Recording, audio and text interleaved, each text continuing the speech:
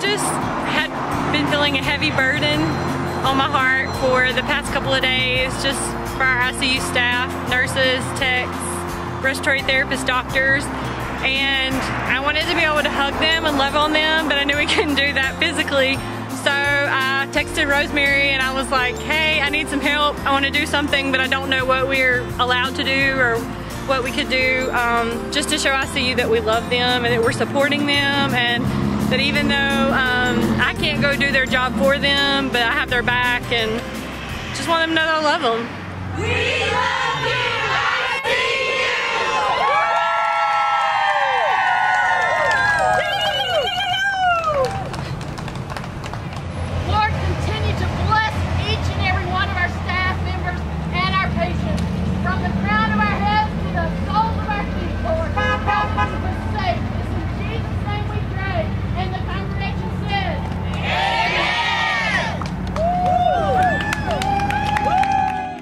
We